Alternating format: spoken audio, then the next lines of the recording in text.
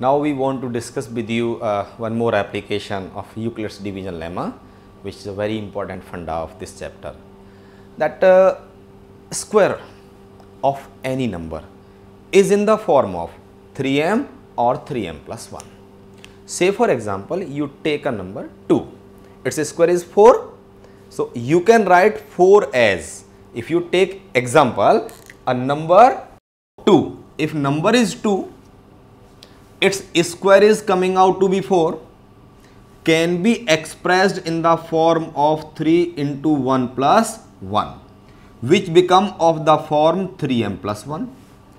Suppose you have taken another number Suppose b you have taken it as 3.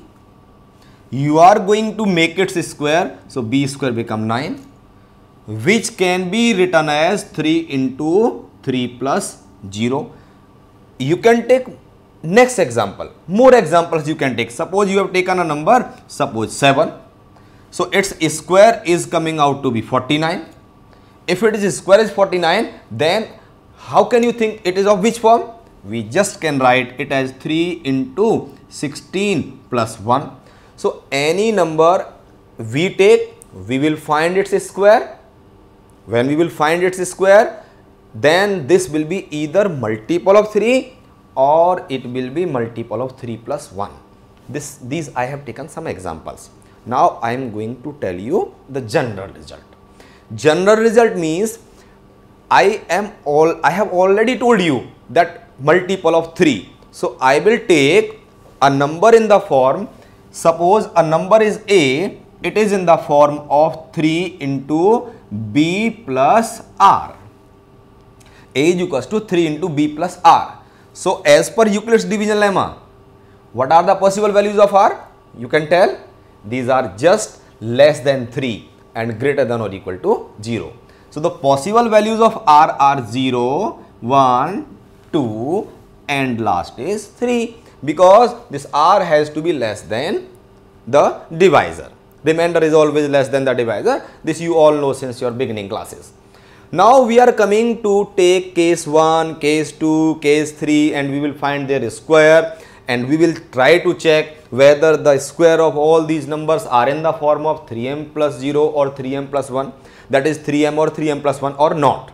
So to check it we will take first First we are taking r is equals to 0. So a square is equals to 3b's whole square. So a square become 9b square. So a square is coming out to be 3 into 3b square.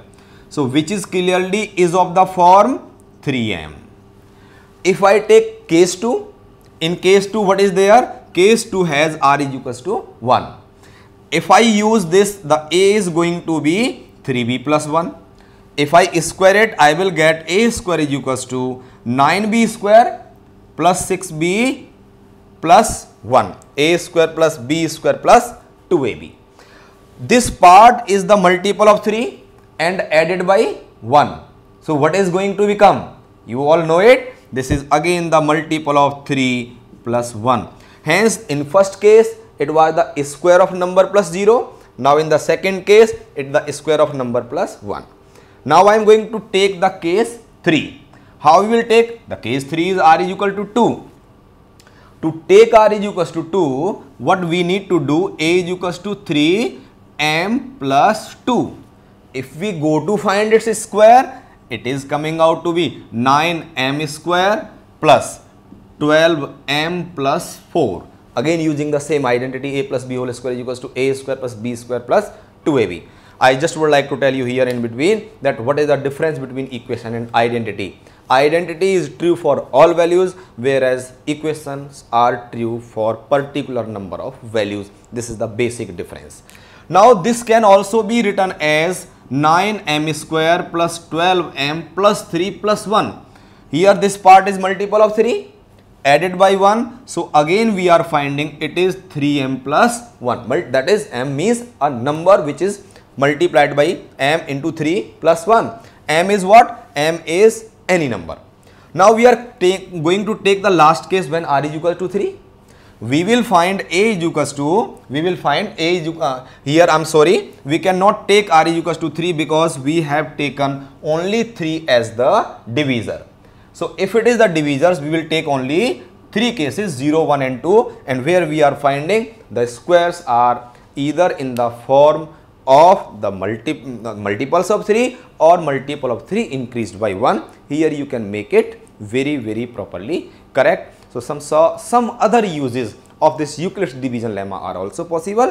While we are solving some word problems, circular problems, type problem and different different places we can use the terminating, non-terminating and every part of the chapter is connected to our real life.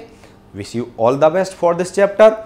And for more details you just can go to the further informations from this network.